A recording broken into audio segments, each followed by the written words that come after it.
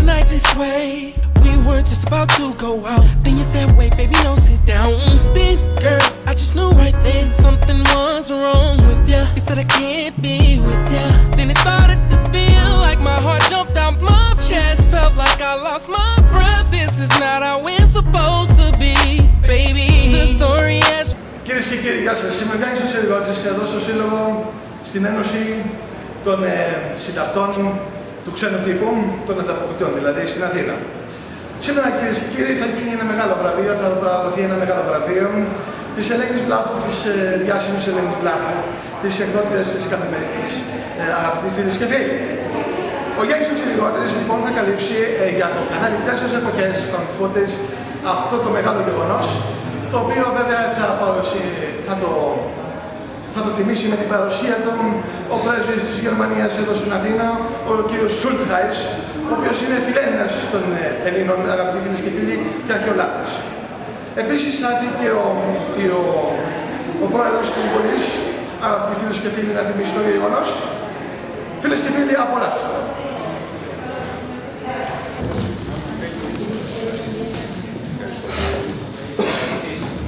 στιγμή, να πάρω πλάνα. γιατί- And ähm, Würden Sie auf der Deutsch, auf Deutsch sprechen? Sponsor. Ja. Hm?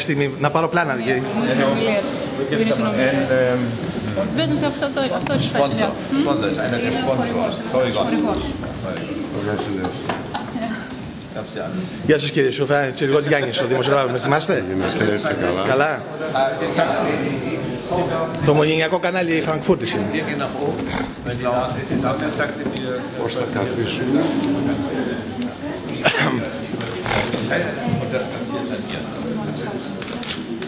Und das passiert dann hier. Πώς θα καθίσουμε.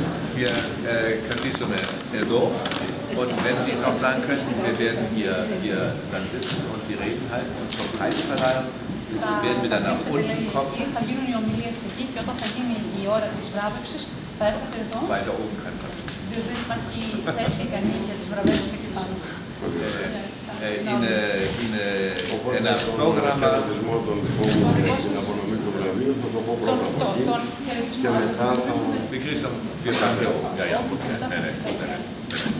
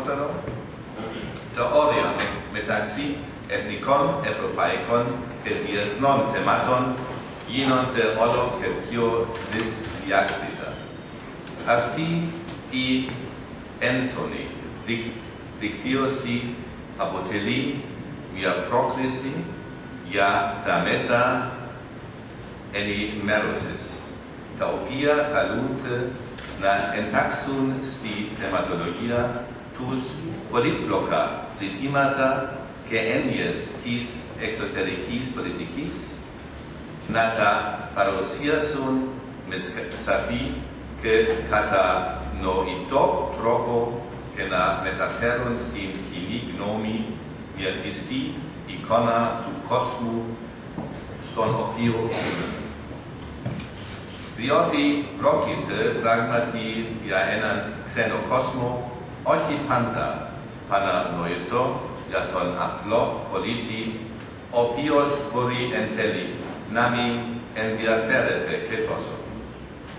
Σημαντικότερα μπορεί να είναι για εκείνον τα αποτελέσματα των ποδοσφαιρικών αγώνων, τα άρεστα για τα τελευταία σκάνδαλα, οι νέες δημοσκοπήσεις για τις επερχόμενες εκλογές, ή ακόμα το πρόγραμμα των κινοματε- κινηματογραφικών και το δελτίο κερδών. Και όμως τα διεθνή θέματα έχουν άμεσες επιπτώσεις στην ζωή μας, κάτι που ισχύει προπάντων για τα ευρωπαϊκά θέματα. Τα κονδύλια που διαθέτει η Ευρωπαϊκή Ένωση για υποδομές και ο τρόπος με τον οποίο υλοποιούνται τα έργα, η κοινή αγρο- αγροτική πολιτική, οι αποφάσεις της Ευρωπαϊκής Ένωσης για την παράνο- παράνομη μεταναστεύση, μετανάστευση, οι αποκορεύσεις του καπνίσματος και οι απα- αποφάσεις ευρωπαϊκών δικαστηρίων για την εγκυρότητα διπλωμάτων, τα οποία χορηγούνται από ιδιωτικά Παλαιστίνα- Παλαιστίνια. Όλα αυτά είναι παραδείγματα ευρωπαϊκών αποφάσεων οι ο- οι οποίες έχουν άμεσο αντίκτυπο στον Ελλ- Έλληνα, Έλληνα πολίτη. Και γι' αυτό το λόγο είναι σημαντικό να γνωρίζουμε τις λεπτομέρ- λεπτομέρειες και τους μηχανισμούς γύρω από αυτές. Στόχος του βραβείου Ελένη Βλάχο είναι να προωθηθεί, προωθηθεί αυτή η θεμαλογία. Θα πρέπει εδώ να λάβουμε επιπλέον υπόψη μας ότι στην σημερινή Ευρω... Ευρώπη παρατηρείται ένας αυξανόμενος ευρωσκεπτισ- ευρωσκεπτισμός, μία απογειωή ποιήση στην Ελλάδα ευτυχώς σε μικρότερο βαθμό. Ο ευρωσκεπτικισμός είναι το σήμα κατευθέντους βίας της Ευρωπαϊκής Ένωσης και να έχει ασχοληθεί σοβαρά με ζητήματα ευρωπαϊκής ενοποίησης. Εάν όλοι ενδιαφέρονται για τα ζήματα αυτά και τα γνωρίζουν τόσο καλά όσο τα τοπικά και εθνικά θέματα, τότε θα έχουν μια πραγματική ευρωπαϊκή κοινή γνώμη που είναι και η προϋπόθεση για μια επιτυχημένη επωνύος- επιμοίηση σε βάθος χρόνου. Η Ελλήνη Βλάχου δεν υπήρξε μόνο εξαίρετη δημοσιογράφος, αλλά και φωτεινό παράδειγμα από φασιστού. Κάτι τέτοιο δεν ήταν ακίνδυνο με τον δημοσίης αρέτες. Εφετινή νικη, νικη, νικήτρια είναι η κυρία Μαρία Νικολάου από τον κομματή, την κομματή.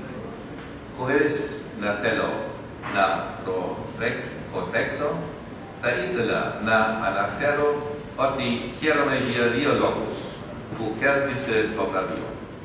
Κατά πρώτον, θα ήθελα να αναφέρω ότι είναι η πρώτη φορά που το βραβείο απονέμεται σε γυναίκα δημο- δημοσιογράφο. Κατά δεύτερον, αξίζει να σημειώθει ότι η κυρία Νικολάου απέσ- απέσπασε το βραβείο εργαζόμενη για μια τοπική εφημερίδα της Κομωτινής. Είναι σημαντικό να υπάρχει καλή και διεξοδική ενημέρωση για τα διεθνή θέματα και εκτός των μεγάλων αστικών κέντρων. Και αυτή ακριβώς είναι η μεγάλη επιτυχία της κυρίας Νικολάου. Επιτρέψτε μου τέλος να απευθύνω δύο ευχαριστίες. Μία προς τον ομιλητή που θα ακολουθήσει τον κύριο Χριστοδίδη του Αθηναϊκού και Μακεδονικού Πρακτορείου Ειδήσεων, ο οποίος μας επέστησε την προσοχή στα τοπικά μέσα ενημέρωσης και ο οποίος θα παρέχει στην νικήτρια αλλά και σε κάθε νικητή του βραβείου μελλοντικά τη δυνατότητα πρόσβασης στο ηλεκτρονικό αρχείο του πρακτορείου και στο έντυπο που αυτό εκδίδει. Θα ήθελα όμως να ευχαριστήσω, ευχαριστήσω μέσα από την καρδιά μου και τους χορηγούς του διαγωνισμού. Χωρίς την βοήθεια τους δεν θα μπορούσαμε να αποδείμουμε το βραβείο. Είναι ο κύριος Σάσκι της εταιρείας PSA, οικιακές συσκευές και ο κύριος Schöning της Bayerhellers. Σας ευχαριστώ θερμά. Τα χρήματά σας βρίσκουν αντίκρισμα μια και αποτελούν ένδυση για το μέλλον. Σας ευχαριστώ όλους και πάλι για την παρουσία σας εδώ σήμερα.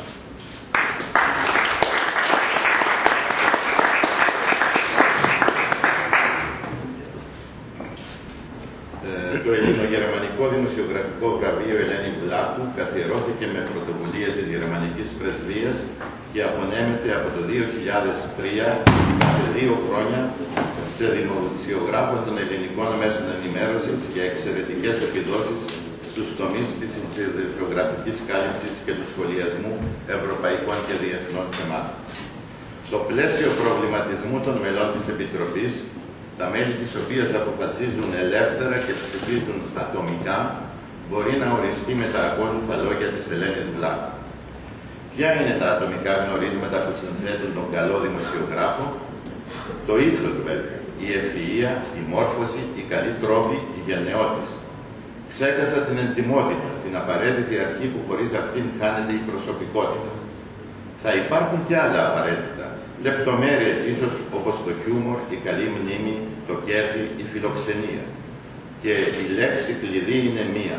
Καλός δημοσιογράφος που να ξέρει καλά ελληνικά, να είναι μορφωμένος, να γνωρίζει την ιστορία μας, τη σύγχρονη και την παλαιότερη και ακόμα να έχει καλούς τρόπους, καλή διάθεση και υπομονή. Οι σημαντικές αλλαγές στον χώρο των μέσων ενημέρωσης τα τελευταία 20 χρόνια μπορεί να άλλαξαν πολλά, αλλά φαίνεται πως δεν άλλαξαν αυτά τα χαρακτηριστικά. Μετά την προκήρυξη του βραβείου Ελένη Βλάχου για το 2009 υποβλήθηκαν 13 υποψηφιότητες από όλα τα μέσα ενημέρωσης και από πολλές περιοχές της χώρας. Τα μέλη της Επιτροπής μελέτησαν τις υποψηφιότητες και η Επιτροπή στη συνεδρίασή της προχώρησε στην τελική αξιολόγηση και απόφαση. Τα έξι από τα οκτώ μέλη της Επιτροπής που πήραν μέρος στη φετινή απονομή υποστήριξαν την υποψηφιότητα της κυρίας Μαρίας Νικολάου. Σύμφωνα με τα μέλη της Επιτροπής, τα άρθρα της κυρίας Νικολάου που υποβλήθηκαν ήταν εξαιρετικά και αποτύπωναν το δημοσιογραφικό ταλέντο της. Οι απόψεις της ξεκάθαρες σε θέματα όπως ο ρατσισμός, η μεταχείριση των μεταναστών, οι πολιτικές της Ευρωπαϊκής Ένωσης, ιδιαίτερα είναι νέα δημοσιογράφος που καθιερώθηκε μέσα από τα εκατοντάδες γραπτά κείμενά της, μεταξύ των οποίων και πολύ γνωστοί δημοσιογράφοι με εξαιρετικές επιδόσεις στο επαγγελματικό τους χώρο. Το γεγονός αυτό έκανε ακόμη πιο δύσκολη την τελική επιλογή. Η Μαρία Νικολάου γεννήθηκε στις Σέρες. Πήρε το δίπλωμά της για τη δημοσιογραφία από το ΙΑΚ Κομωτινή, όπως και δίπλωμα επαγγελματικής κατάρτισης στην ειδικότητα προγραμματισμός ηλεκτρονικών υπολογιστών. Συνέχισε στον τομέα ανθρωπιστικών σπουδών του Τμήματος Ευρωπαϊκού Πολιτισμού του Ανοιχτού Πανεπιστημίου. Παρακολούθησε πολλά επαγγελματικά σεμινάρια και είναι μέλος της SCM από το 2001. Το δημοσιογραφικό της ξεκίνημα άρχισε το 1996 από την εφημερίδα Θρακική Αγορά και το ραδιοφωνικό σταθμό Διάβλος Ροδόπης, ενώ την επόμενη χρονιά άρχισε τη συνεργασία της με την Έρα Κομωτινής, εργάστηκε ως ανταποκρίτριας στις εφημερίδες της Θεσσαλονίκης Αγγελιοφόρος Μακεδονία, Μακεδονία της Κυριακής, Θεσσαλονίκη και της ΕΤ 3. Παράλληλα εργαζόταν στις περιφερειακές εφημερίδες Γνώμη και παρατηρητής της Θράκης και σε πολλά περιοδικά. Δεν είναι η πρώτη φορά που τιμάται για το έργο της η Μαρία Νικολάου. Το 2005 πήρε το βραβείο ηλεκτρονικού τύπου που προκήρυξε το Αθηναϊκό και Μακεδονικό Πρακτορείο Ειδήσεων. Και το 2007 το βραβείο για το καλύτερο άρθρο ή ρεπορτάζ σε περιφερειακή εφημερίδα που είχε προκηρύξει η Γενική ε, Γραμματεία Επικοινωνίας. Ιδιαίτερο ενδιαφέρον έχει το βιβλίο της Μαρίας Νικολάου, στο οποίο παρουσιάζονται 600 άρθρα της που είχαν δημοσιευθεί στην εφημερίδα που εργαζόταν. Σε αρκετά κείμενά της ασχολείται με τα προβλήματα της δημοσιογραφίας και τους δημοσιογράφους. Αυτά τα κείμενα, τονίζω, δεν ήταν σε γνώση των μελών της Επιτροπής, αιτιολογούν απολύτως την απόφασή τους γιατί εκφράζουν τις αρχές και τους κανόνες με τους οποίους λειτουργήσε η Ελένη Βλάχου. Το βραβείο συνοδεύεται από ένα ταξίδι στη Γερμανία με πρόσκληση της Ομοσπονδιακής Κυβέρνησης και από ένα χρηματικό έπαθλο 2.000 ευρώ. Στη βραβευθύσα παρέχεται για πρώτη φορά και για δύο χρόνια δωρεάν πρόσβαση σε διάφορες υπηρεσίες του Αθηναϊκού Πρακτορείου Ειδήσεων και ένας ηλεκτρονικός υπολογιστής για να μπορεί να τις αναζητά. Χορηγή για εφέτος είναι η εταιρεία BSH για συσκευές ΑΒΕ και η Bayer Ελλάς. Με το βραβείο Ελένη Βουλάκου έχουν μέχρι σήμερα τιμηθεί ο δημοσιογράφος Γιάννης Διακογιάννης της εφημερίδας Τα Νέα, ο οποίος δυστυχώς δεν είναι πια μαζί μας, ο δημοσιογράφος της καθημερινής Κώστας Ιορδανίδης και ο Κώστας Αργυρός της ΕΡ και της εφημερίδας Ελεύθερος Τύπος. Θα μου επιτρέψετε να κλείσω με λίγα λόγια από όσα αναφέρει η κυρία Μαρία Νικολάου για τον δημοσιογράφο. Δημοσιογράφος λοιπόν δεν είναι ένας άνθρωπος που φοράει το μεσημέρι τις παντόφλες και περιμένει άλλους να μιλήσουν για το άδικο, το ψέμα και την υποκρισία. Ένας άνθρωπος που νοιάζεται μόνο για τους τραπεζικούς του λογαριασμούς, για την αύξηση του εισοδήματός του, για το πολυτελέστατο σπίτι του ή το ακριβό του αυτοκίνητο, για τις σπουδές μόνο των δικών του παιδιών. Ένας άνθρωπος που το βρίσκει φυσικό να συντρώγει με τους κάθε λογής κρατούντες και εκείνοι σε μια από τις πολλές προπόσεις να τους αποκαλούν αυτόν και άλλους συνεργάτες. Ένας άνθρωπος που θεωρεί δεδομένο τις στενές σχέσεις με τους αιρετούς, το κεφάλαιο, τη διαφημιστική δαπάνη, την πίτα που μοιράζεται και με το χέρι που εκείνος απλώνει, όχι για να αποκαλύψει, αλλά για να γευτεί και αυτός άλλοτε ένα ψίχουλο και άλλοτε ένα ολόκληρο κομμάτι. Ένας άνθρωπος που θεωρεί ότι πάντοτε έχει δίκιο. Ένας άνθρωπος που σχολιάζει γεγονότα με δόλιο τρόπο και δεν προάγει την αποκάλυψη της αλήθειας. Ένας άνθρωπος που συμμορφώνεται προς τις υποδείξεις και εντάσσεται στους κομματικούς μηχανισμούς. Ένας άνθρωπος που λειτουργεί ως κρίκος των μηχανισμών που κινούνται στο να διαφημίζουν σχέδια ενάντια στην αλήθεια, στη συμβίωση, στη συνύπαρξη που προβοκάρουν και αντιστρατεύονται κάθε καλή κίνηση. Ένας άνθρωπος που νομίζει ότι η δημοσιογραφία είναι η υπηρέτρια της πολιτικής μέχρι να γίνει και η ίδια πολιτική και ο δημοσιογράφος πολιτικός. Αυτή είναι η Μαρία Νικολά.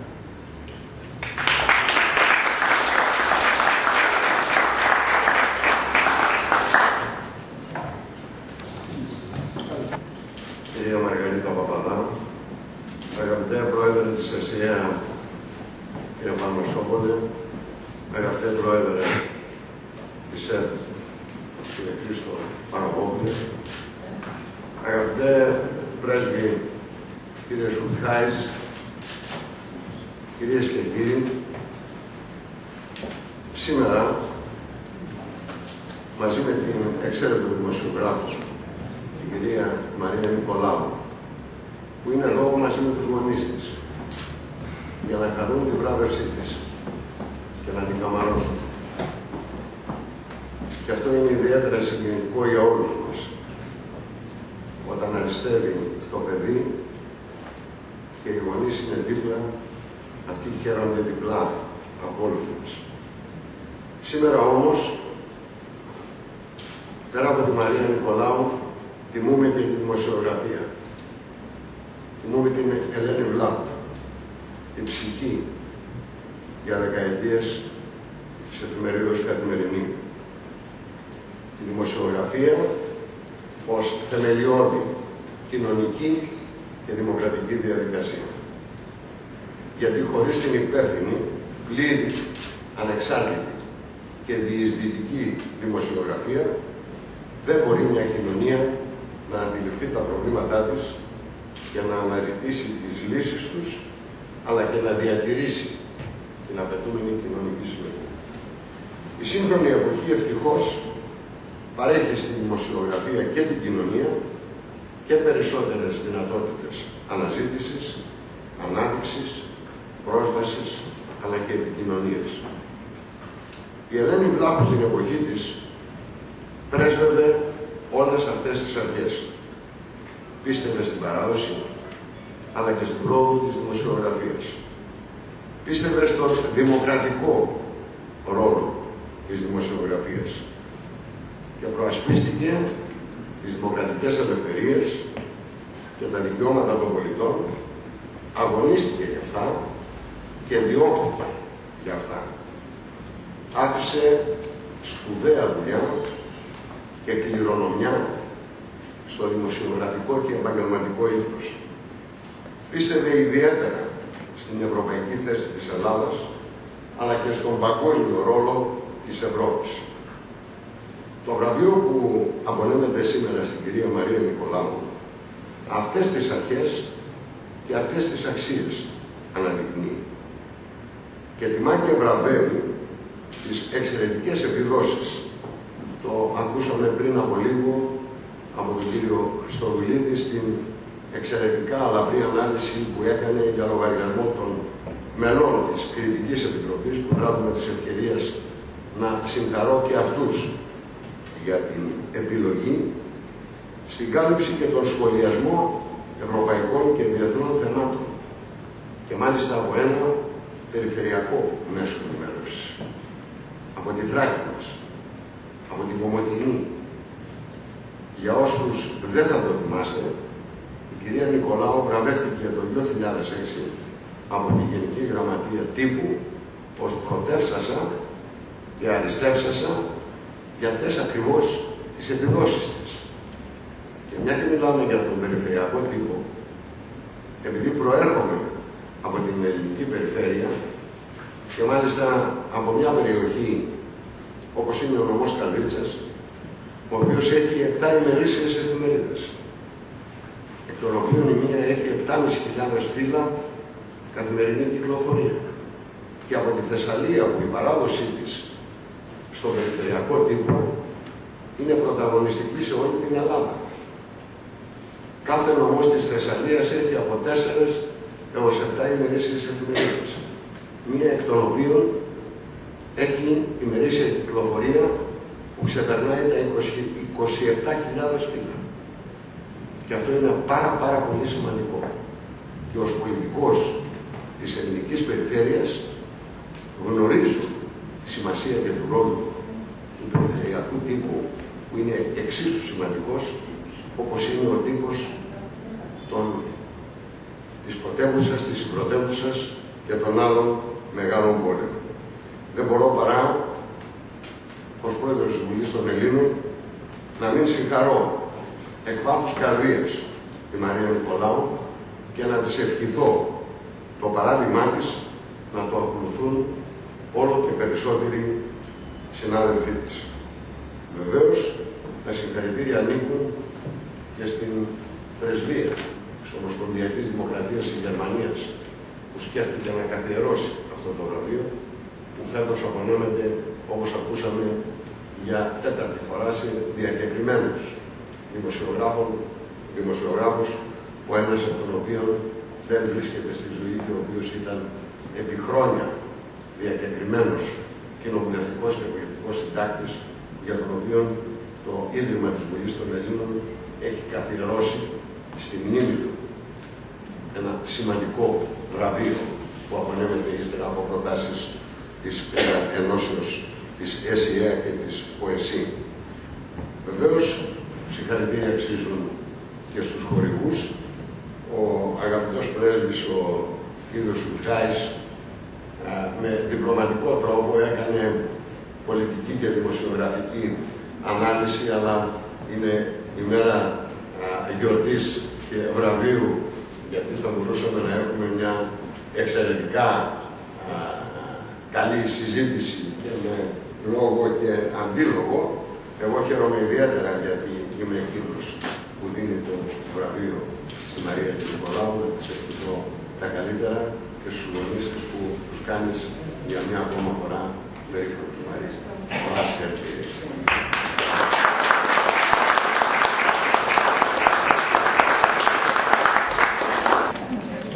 δεν βλέπω εικόνα. Δεν βλέπω εικόνα.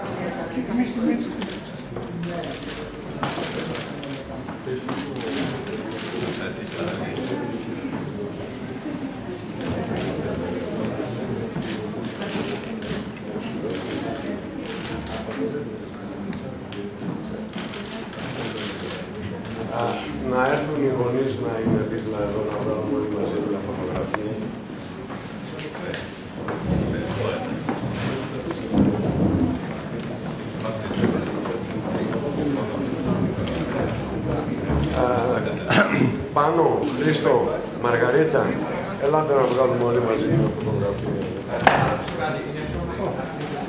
Έλα. Ψυχή. Ε, συγγνώμη, Ποιο κύριος Πάγκαλος. μια στιγμή. Κυρία, κυρία Μαργαρίτα.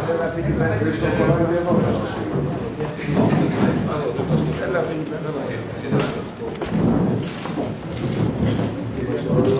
Κύριε Πρόεδρε,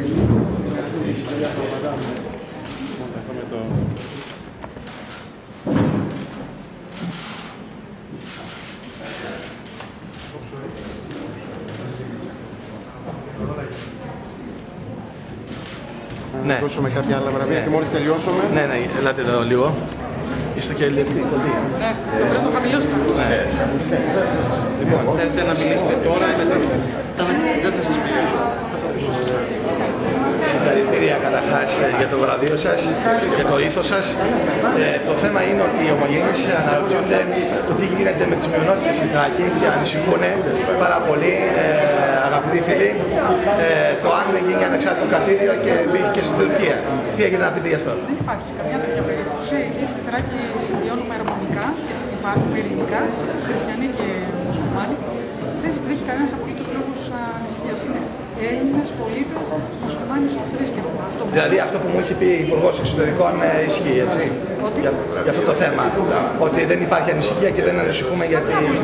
Μια Ελληνική έχει δοσοκοτηθεί σε εθνικό κορμό πριν από 10 χρόνια. Ναι, αλλά υπάρχει όμως προπαγάνδα στο διαδίκτυο από εφημερίδες τοπικές εκεί, στα τουρκικά και ανησυχούμε πάρα πολύ εμείς στη Φραγκφούρτη. Η καλύτερη απάντηση είναι οι μουσουλμάνοι συμπολίτε μα, οι οποίοι γεύονται όλα τα δικαιώματα τους ελληνικού κράτου και νομίζω ότι η καθημερινή ειρηνική συμβίωση και αρμονική σύμπραξη χριστιανών και μουσουλμάνων είναι η καλύτερη πραγματικά απάντηση σε όλα τα δικαιώματα Μάλιστα. Εμείς έχουμε επιτευχθεί αυτό που προσπαθεί επί χρόνια, δηλαδή να συνεπάρχουμε ειρηνικά πολλές διαφορετικές πληθυσμικέ ομάδες. Ωραία, ευχαριστούμε πάρα πολύ. και συγχαρώ την βραβευτήσα, τη συνάδελφό μας Μαρία Νικολάου ε, για τις αλλεπάλληλες επιτυχίες της σε όλους τους τομείς της δημοσιογραφίας που δίνει.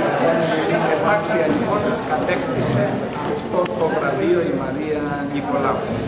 Ως προς το θεσμό των βραβείων, θέλω να συγχαρώ και την γερμανική πρεσβεία που καθιέρωσε αυτό το θεσμό των βραβείων. Καλύτερα θα ήταν το χρόνο που καθιέρωσε εμείς το θεσμό βραβείων Ελένης Βλάχου. Αλλά όμως ε, πολύ καλά έκανε η Γερμανία και αξίζει συγχαρητήρια.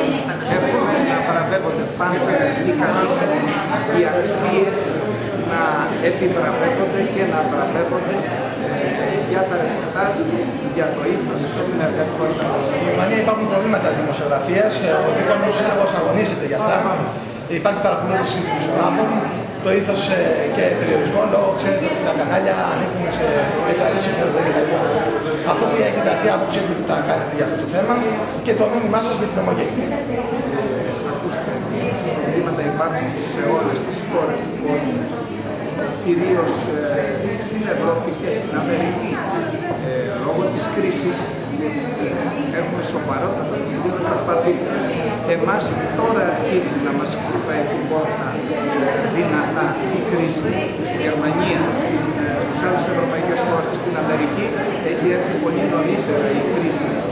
Ε, επόμενο είναι να περνάνε δύσκολα οι συναδελφοί μας αφού καθημερινά έχουν απολύσεις, καθημερινά έχουν μείωση προσωπικού, ε, εφημερίδες. Ελεύθερος τύπος των Χάινεν, τη Αγγελοπούλου. Εδώ στην Ελλάδα ήταν ο ελεύθερος τύπος, αλλά δεν οφείλεται ε, στην κρίση που Τι μας κάνετε για αυτού τους συναδέλφους. ήδη πολλά προσπαθήσαμε στις διάφορες κατευθύνσεις. Κινηθήκαμε, πετύχαμε πολλά. Ήδη ε, καταφέραμε μετά από συνεννόηση και με τις να πάρει ένα μέρος του αποφέτες ο νέος αγοραστής, ο νέος ιδιοκτήτης, με τον οποίο είχαμε και χθες επαφή, θα πάρει πάνω από 50 συνεργασίες μας, αλλά βέβαια δεν είναι το πρόβλημα, γιατί ήταν 250 οι εργαζόμενοι στο δυνατόν να βοηθήσουμε και νομική στήριξη τους παρέχουμε και οικονομική και Το κανάλι μας θεωρεί ότι η Αγγελοπούλου δεν θέλει να είναι επαγγελματικά και πολιτικά στην Ελλάδα και γι' αυτό δεν μπορούσε να μείνει έψιλο η οικογένεια. Από τη άποψη Ο κ. Αγγελόπουλος με τον οποίο μίλησα αμέσως μετά την ανακοίνωση ότι σταματάει την εκδοσή της εφημερίδας μου είπε ότι έμπαινε μέσα συνέχεια η εφημερίδα δεν υπάρχει μήνυ έψιλο, δεν να μην μπαίνει μέσα. δεν μπορούσε να συνεχιστεί αυτή η κατάσταση.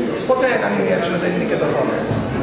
Υπάρχουν και τουλάχιστον στην Ελλάδα ξέρω ότι υπάρχουν κάποια ε, και σε όλα τα μέσα και στα κανάλια και στις εφημερίδες και στο ραδιόφωνο.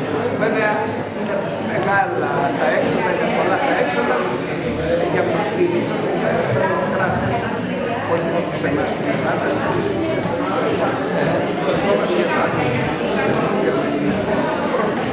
και εδώ στηρίζει το κράτος με την κρατική διαφήμιση και με διάφορες άλλες παραγωγές που έρχονται.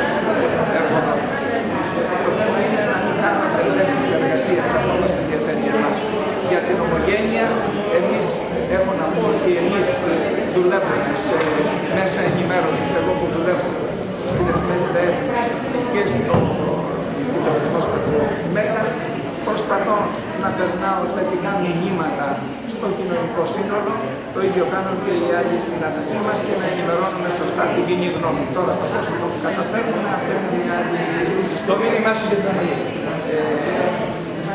να ξεπεράσουμε την κρίση που όλους επηρεάζει και τους δικούς μας και τους ομογενείς επηρεάζει και όλο τον κόσμο ε, και να έχουν υγεία οικογενειακή, προσωπική και επιτυχία στην όποια ε, δουλειά επιλέγουν ε, κάνουν οι άνθρωποι μας. Ο Παπαδόπουλος, ο Παπαδήμος δεν πήρε μέρος στο Πασόκ, στο Δεν ψυχοδέλτιο. πήρε, όχι. Τι έχει να το πείτε στο κανάλι. Δεν, ε, εγώ κάνω αστυνομικό ρεπορτάζ. Α, μάλιστα. Δεν κάνω πολιτικό ρεπορτάζ. Εντάξει, ευχαριστώ. Να είστε καλά. Herr Botschafter, was äh, können, äh, was sagen Sie zu den Entwicklungen in Deutschland und wie sind die Beziehungen zwischen den beiden Ländern?